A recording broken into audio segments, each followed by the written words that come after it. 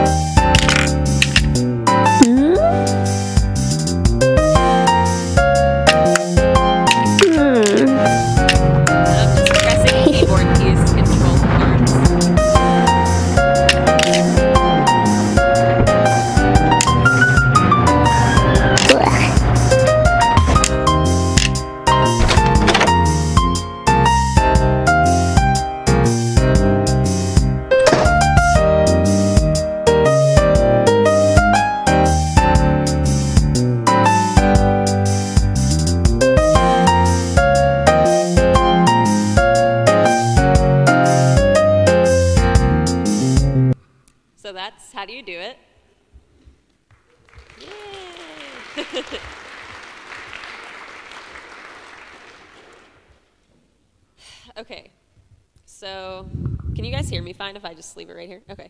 So this vignette game, how do you do it, that I just showed you, uh, tries, I worked on it by the way with Emmett Butler, Decky Coss, and Joni Kittaka, who are all awesome developers. Um, and so we made this game, and I, I wanted to make it to try and help players embody my young self, to try and like put them in my shoes as this young girl who was sort of like confused about what sex was. Um, so as you saw in the game, you are able to control young Nina's arms and hands in order to like bang the dolls together. Um, and you know the ragdoll physics of the dolls make it look pretty silly. Um, and I wanted to evoke the feeling of confusion and earnestness I remember feeling when playing sex with my dolls at that age. Um, so the clumsiness of the game and of like banging the dolls together and how they flop about, and she kind of pushes them together really quickly, like she's nervous. These are all things that were meant to evoke that nervous excitement that I remember feeling. Um, so, because the whole thing is it's just about furtively playing in secret um, while my mom was out at the store. So I'm really interested in giving players these kinds of mechanics that help them better understand me and my feelings through these brief, true stories, like how do you do it? Um, and I want them to come away from the game with a sense that they kind of were the little girl for, for even just a moment. Um, so this vignette game, um, let's see, oops, one sec. Where? Okay, yeah. So for these personal games, like how do you do it? Um, I usually uh, draw from personal memories, um, as I mentioned before, and oftentimes people ask me like how I decide like what, because you know I've lived a whole life, I have lots of memories. How do I pick single ones to make games about? Um, and I usually try and pick ones that I have really complex feelings about, memories that I don't feel like I fully understand yet, that I think I could like spend some time with to try and better understand as part of my process of designing the game. Um, and oftentimes these games that are about these complicated memories are very cathartic um, and help me cope with untangling these kind of emotional memories, um, whether they're very sad memories or kind of silly, funny memories, like how do you do it? There's still issues there that I was trying to, to work out. Um, for example, with how do you do it, when I was working on it, um, I was thinking a lot about how it was so confusing to grow up as a kid whose parents like didn't ever want to talk about sex. Like it was totally taboo to talk about in my house. So i kind of wanted i'd never really like dealt with that or thought about it. So i was like oh i'll make this game and like i don't know maybe i'll show my parents and see what they say. Um, they didn't like it so i'm just going to run through some other examples of like personal games that i've made or that i'm working on just to give you a better sense of what this whole body of work is like. So, with my current project, Cibele, which this is a screenshot from, um, I'm trying to unwind the memory of my first time having sex, which is another complicated memory that I felt like, I mean, I'm still working on the game, so I guess I haven't fully dealt with it yet. Um, but in the game, uh, you play as me, forming a relationship with a guy in an online game, sort of like an MMORPG. Um, and you play this online game as me, uh, but you also interact with my computer, a la this desktop, um, going through my selfies and my files, uh, embodying my experience of forming a relationship on the internet um, through interacting with the system. Yeah. Yes. Thank you. Um, so with another game uh, called Freshman Year, which this is a screenshot from, uh, just to sort of talk about another complex memory that I made a game about. I was trying to understand my feelings towards a harasser I encountered in college. Um, I had never really accepted the fact that I'd been assaulted, and making the game that relives this experience helped me deal with that memory and to try and understand why I felt so weird about it. Um, it helped me move on, essentially. So these ideas are all based on parts of my life that I still wanted to sit with and reflect on. Those kinds of stories always feel the most satisfying to me as a designer because they're stories I'm I don't feel like I understand, so I can explore and learn about myself through the process of making the game. And I think that that often makes the game's story stronger. So all that said about making games about my personal memories, often ones that I don't understand and want to cope with. Um, you might be wondering why I want to reveal the intimate details of my life in games. Because even just sharing, I'm sure a lot of you can relate, even just sharing your personal stories with friends can be really scary. Talking about like love, sex, paranoia, illness, or anything considered private sphere or personal can make you feel vulnerable and self conscious and even afraid. I have definitely felt all of these things while making autobiographical games. However, my fears are eclipsed by my desire to feel a connection with other people through these games. Making them helps me feel connected to people and to the world around me. I can't explain why I feel this connection through my games without telling you a little bit or like a lot about my life and the story of how I started making games. Um, and even though I wasn't making games as a kid, it all kind of starts there. So, why autobiographical games? I when I was like really young, I grew up feeling emotionally isolated because um, my family was never really interested in talking about personal stuff.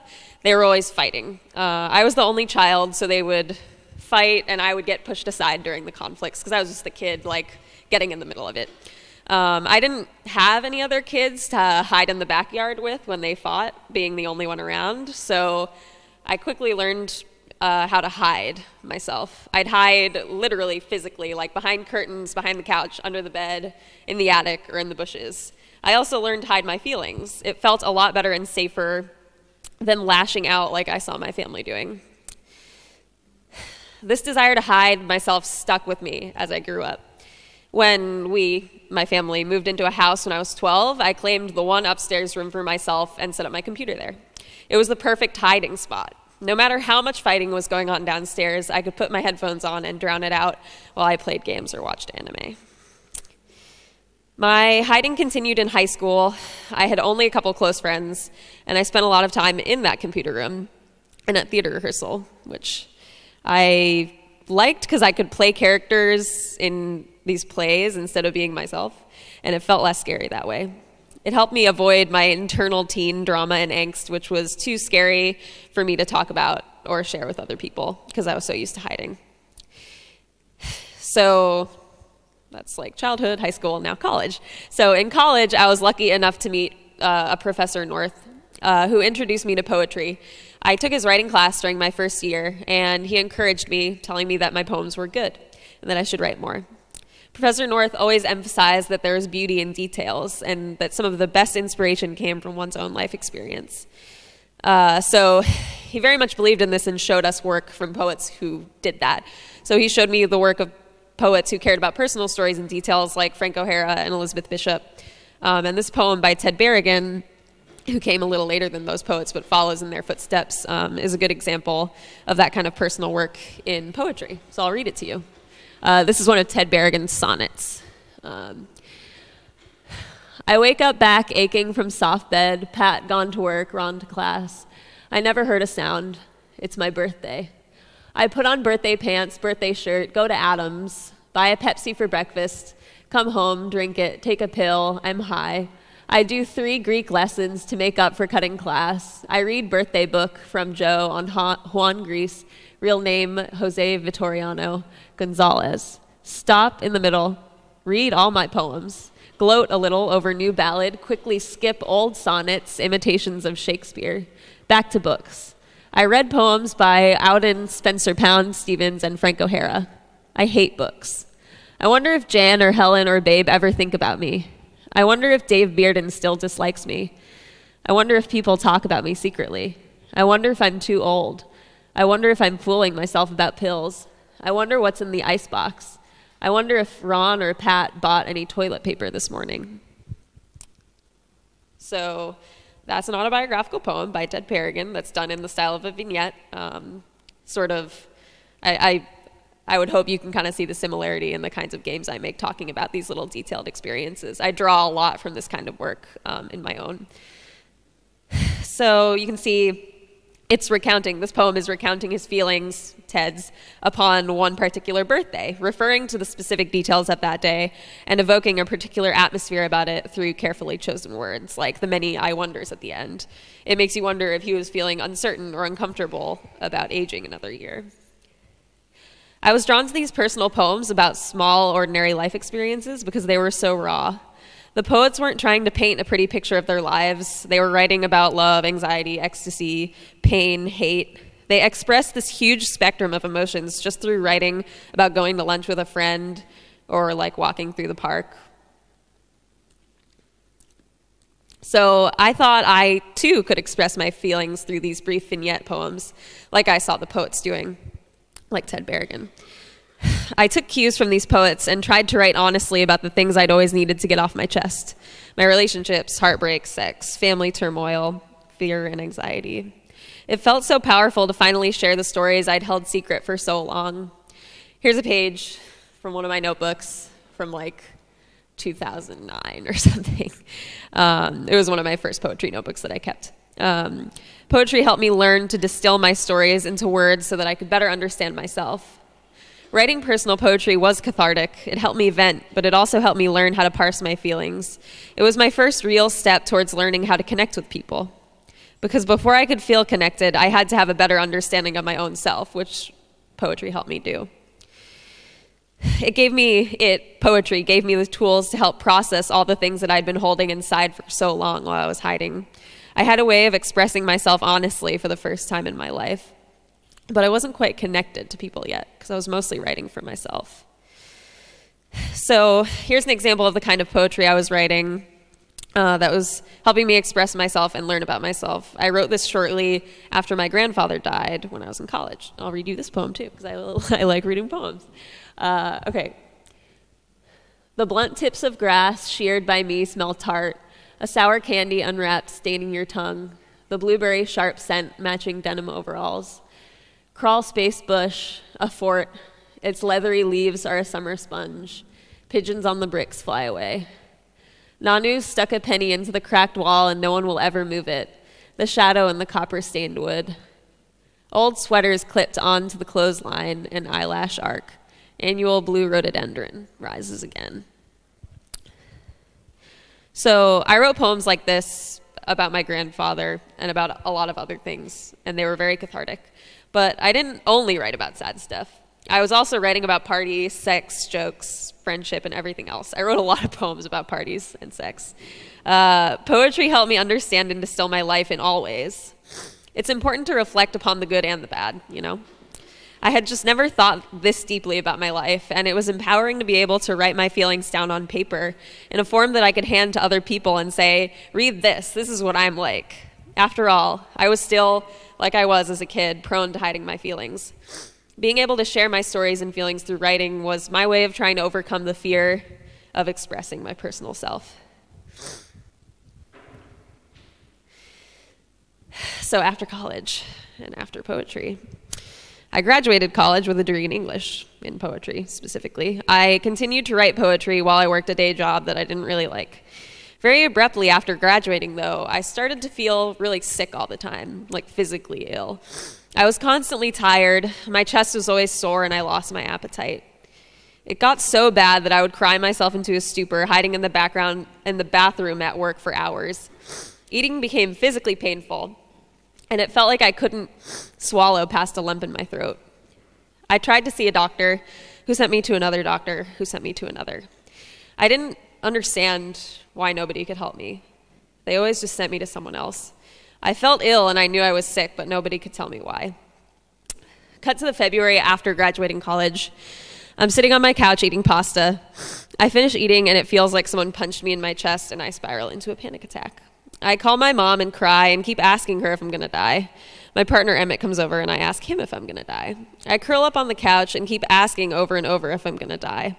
I tell myself I can't ever eat a single scrap of food again because it's too painful and scary. My pant size went down multiple sizes in one month because I was too afraid to eat. I felt so small and weak. Anxiety, everyone said, Nina, you need to get over it. You need to get it together. I didn't think I could get it together though, because I felt so sick. So I s- stopped writing, I stopped seeing my friends, and I started to hide again because I was scared. At the time, my partner, Emmett, and his friend Diego were making an iOS game together. I'd watch them work on it on the weekends when I would try and like get out of my like sick hiding spot in my bed, and I would sit there writing poems and listening to them talk about design and code. I'd always been interested in games and programming, and watching them do it made me want to try too. I was sick, but I needed something new and exciting, like games, to help me get through this rut. I knew I was ill and depressed, and I needed to change something. I started to tag along with them to any and all of the local games events. This was in New York City. I discovered games like Dys4ia and Kentucky Route Zero at the time. Those games told stories, I thought, like my poems did. I started to teach myself how to code and began to make games based on my poems, just for myself. My mystery illness still held me back, though, um, which is why I was keeping them to myself because I was just afraid to show people.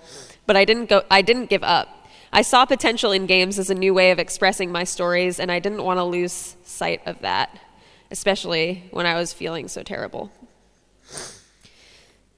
So, soon enough, I found a doctor that diagnosed me with a stomach condition called gastroparesis. He told me that it had no cure, but I could do certain things to decrease the symptoms. I'd just have to learn how to live with it, he said. So, that's exactly what I did. I struggled with depression and an eating disorder, but I also realized that my problems weren't going to go away if I didn't act. If I gained anything from my illness, it's that you can't hide, especially when you feel like everything in your life, even your own body, is crumbling. You need to seize every bit of inspiration bubbling up inside of you, and you have to fling your door open and tell the world that you're there. I left my illness behind and I made games. I made games like I made poems, small vignettes about my personal experiences. I'd watch people play these games about my life, I'd watch them embody my life experience. I saw that interaction and realized that it's the connection I'd always been looking for since I was a kid hiding in the attic. I'd felt sick and alone for so long. I didn't want to be alone, hiding. I didn't want to wither away with my illness. I wanted to be present and raw. I wanted people to see me, and I wanted people to see me in these games. I wanted people to embody me through my games, and I still want that and work for it in every personal vignette game I make. I want the player to come away from these personal games with a sense that they better understand my perspective or me as a person. I found that games are good for embodiment because they help the player actively engage with a character or story. I always strive to have the player actively engaging with the story as they play through these games as a way of putting them in my shoes. So, freshman year is a game that I mentioned earlier. Um, and I think it's a good example of my effort to help players embody my life experience. Um, it's, as I mentioned, a game about a time I was sexually harassed in college.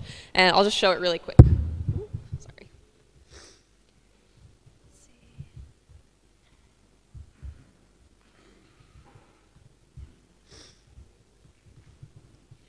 This one's longer, so I'm not going to play the whole thing, but I'll just show you so you have a sense of it. So, maybe I should read it. You're sitting on your laptop in bed. You live in a dorm with your best friend, Jenna. She's not home. You're scrolling through a Facebook album of pictures from a party you went to last weekend, and all of your friends look totally wasted. You're glad that you didn't end up in any of the pictures.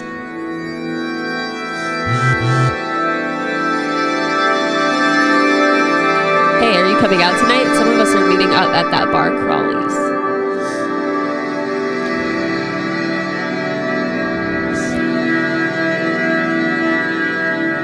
I'll pick this one. You look at Facebook and scroll through your newsfeed. There's a picture of you with Jenna. You're both posing with your hands on your hips, wearing tiny dresses. You stare at the picture and feel a little bad. Jenna is so much thinner than you. Okay, meet up in like an hour. Is anyone cool gonna be there? Should I wear that new skirt? So the game kind of goes on like this, um, and you're texting with your friend Jenna, talking about going to this party at the bar, um, and you're like pretty much down, but you meet up with her, and then this keeps happening. So you're like walking to the bar, and either Jenna is like with you, and then she runs away, or you go yourself, and you're texting her, but she like stops responding after a while, but you, you were able to keep texting her. So you're sort of like texting her, being like, Jenna, where are you? Eh.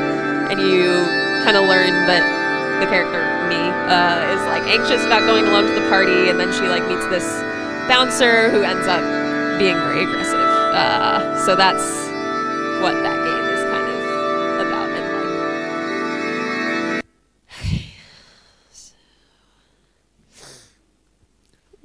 Let's put this back up. Okay, so to continue my thought, this freshman year is an autobiographical game. So truly, there is one story with one ending. I don't want the player to have control over my life experience. It's mine, so they don't have to control it. I want them to embody me. I don't want to give them control. I want them to feel like they're me. Um, so I have to help them understand what my particular experience was like without them controlling or changing it. And you might be wondering how a player could embody a character that they can't control. So my job as a game designer um, that wants to sort of explore this idea of player character embodiment um, is to take my personal experience and craft out of it a game that helps the player play through the story and understand it and understand my feelings about it. So in freshman year, for example, you saw the text messages. So through the text message choices in freshman year, I'm able to help the player think about what the character is thinking and to try and bring them closer to her experience and perspective. Um, and especially when Jenna stops responding, it's very much like look at your phone, look up, look at your phone, and it's supposed to kind of evoke that feeling of being very anxious as you wait for a friend. Um, so let's see, checking time. Okay, so let's see. The choices of the text messages are meant to help the player understand the character, not control the character. After all, I want them to embody me, not themselves. So later on, there's a harassment scene, and the player is unable to do anything. They're like reading a text message, and suddenly they're being like grabbed uh, by this man. So by taking away player agency during that that harassment scene, I'm able to help bring them closer to my own experience of losing agency physically during this encounter. Um, and affecting player agency is another kind of design choice itself, and it can tell a story. Uh, and it's something uh, that I experiment with frequently, frequently in my work as a way of exploring embodiment. Um, so, freshman year, um, to sort of bring it back to what I was talking about with hiding and wanting to feel connected with people. Um, Freshman year helps me feel connected with people because I know that when they play it, they'll get to see things from my perspective just for a moment by embodying my experience. Uh, and the feedback to the game has been positive, and with every positive response, I feel a little more brave and a little more open to being honest about my life in games. It sounds selfish, but I think being selfish sometimes is okay. I want to know that people empathize with me. I want to know that for myself. I want to understand that they know where I'm coming from.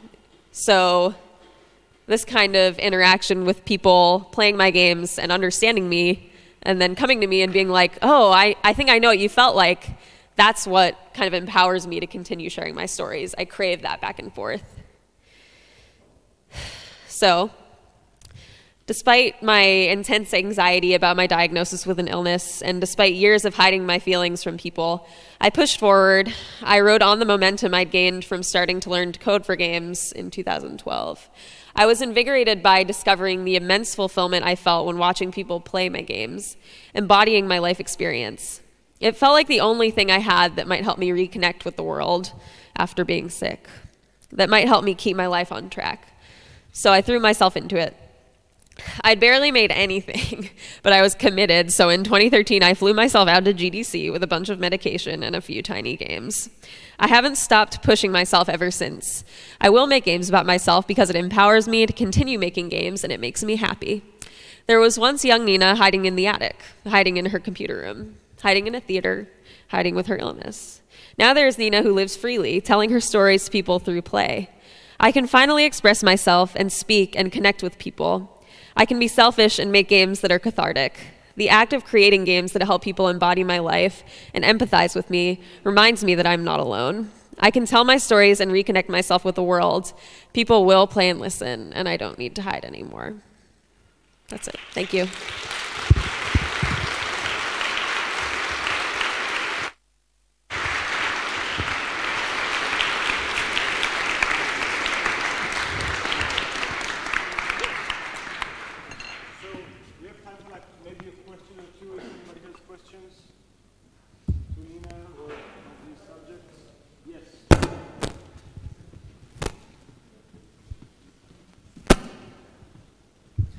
Hi.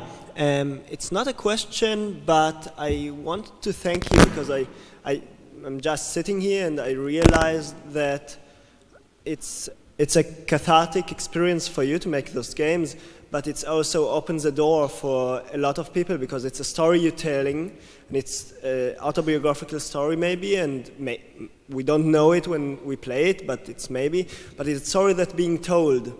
And only if those stories are being told, they are in the, the, it makes them valid to tell those stories. So I think it's very important to tell autobiographical stories. Um, and I want Thanks. to thank you for that. Oh, thank you. Yeah, that's something I think about a lot. Um, and I talk with a lot of people about, like, oh, like you make games about being like sexually harassed. People don't usually make games about that. Um, and it's kind of a nice like side effect that I can like show people that making games about these things is something that you can do, sort of while also fulfilling my own desire to like make these games about myself to make myself feel better. um, so yeah, that's really nice of you to say. Thank you. Yes, exactly. It's just you, you're telling the players that, that is, it's, it's, it's a story that is worth being told, and that is a lot. Thank you. Thanks.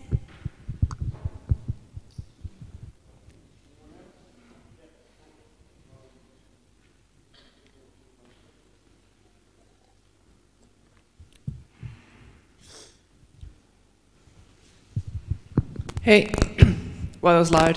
Um, yeah, I wanted to hear more about what you think of the nature of the games themselves. Uh, make them more empathetic to people, and then how. Wait, what was he, what was it that you said before? Empathetic. Uh, the nature of the games and like bringing the poetry into the games and into the interaction. Uh huh.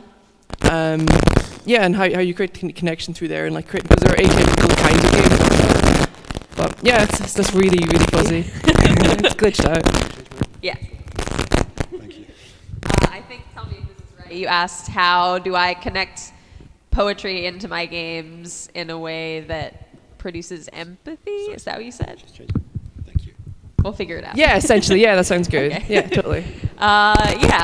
Uh, that's a good question. So I, I think that there is a lot to be explored when you use very specific. Oh no, are you okay? It's okay. Um, there's a lot to be explored with like very specific details. Like if you actually make real references to real things in your games, I think that that pulls people in more and like makes them feel like it's a more human story when they're like, oh, this is just about I don't know that park I went to once, or like, oh, this is about a person and here are their friends with real names. Like those are kind of like my friends. So I think that drawing people in and like showing them that your game is really uh, emulating a human experience is like using those real life details. Uh, and that's something that I learned in poetry because like that poem I read from Ted Berrigan, like you saw it, it was talking about like where he went to get his pills and like who his friends were and like what they were doing. So I think using those real human life details helps with that. Cool.